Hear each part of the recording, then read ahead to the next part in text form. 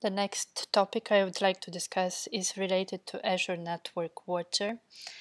And uh, for that, you suppose you have a company, you work for a company, and they want to use Network Watcher to perform different tasks.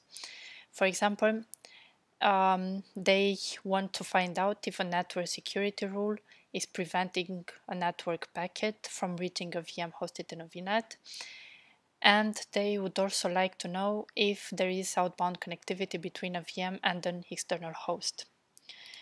And uh, what you you'll also have to know is that Azure Network Watcher has different features, and you can expect to see them in the exam day. And actually, to uh, to answer to the question what feature you're gonna need if you want to perform these two tasks or other tasks, of course. Um, and among the features that you can expect to see are IP flow verify, next hop, packet capture, traffic analysis, and connection monitor. What I suggest is um, that you have a look on each of these features because they can they might ask questions based uh, on each of them uh, I chose these two um, requests. But if I uh, if I have something else in mind, I'm gonna post. Um, I'm gonna create a new video for that. So, for the first question, you're gonna need IP flow verify, and this is actually quite easy to find out if you go to into to this um, Microsoft documentation page, Introduction to IP Flow Verify, then the answer is just here in the first sentence. So IP Flow Verify checks if a packet is allowed or denied denied to or from a virtual machine. This is exactly what um, uh, what's asked in here. For the second one, um, if you want to find out if there is outbound connectivity between a VM and an external host, you're going to need connection monitor. And for that, we go to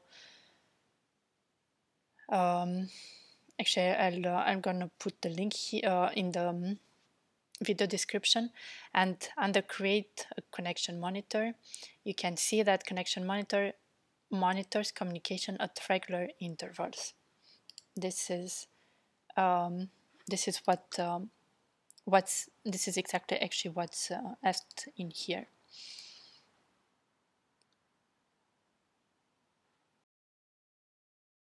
And if we take actually all the other options one by one, uh, IP flow verify, this is incorrect. So for the second request, IP flow verify is incorrect because this feature is used to verify traffic flow based on security group rules.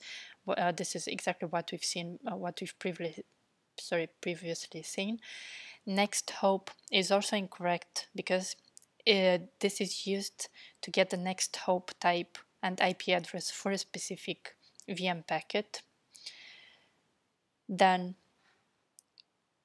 uh, traffic analysis is also incorrect because this is a feature uh, because actually this feature is a cloud-based solution and it will provide you visibility into user and application activity in cloud networks.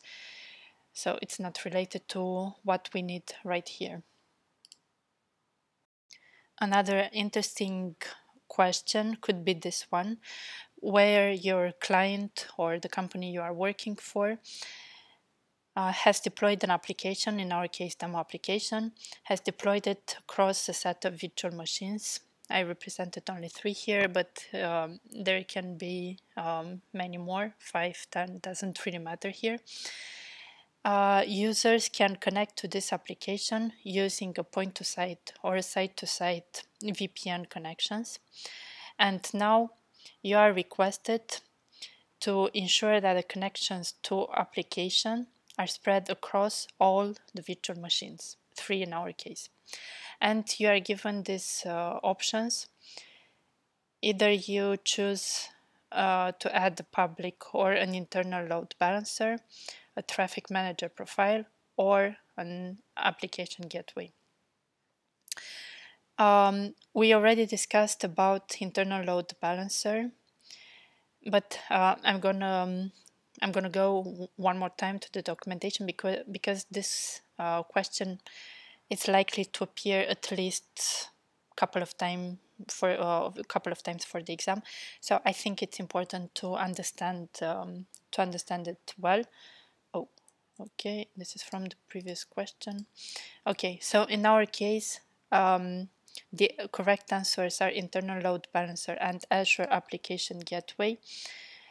Why internal or private load balancer? Because um, in our case, we use private IP and we need to distribute traffic across the virtual machines.